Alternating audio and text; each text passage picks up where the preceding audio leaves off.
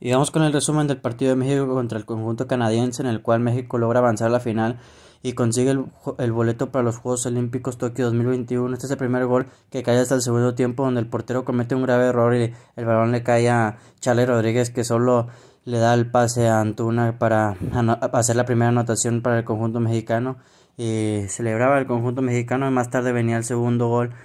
en una jugada balón parado donde Córdoba tira un buen centro y Johan Vázquez logra rematar primero al poste luego corre con suerte de que el balón le cae y de esta manera México liquida el partido 2-0, un equipo canadiense que se vio entregado después de, de esta anotación, el conjunto mexicano celebraba su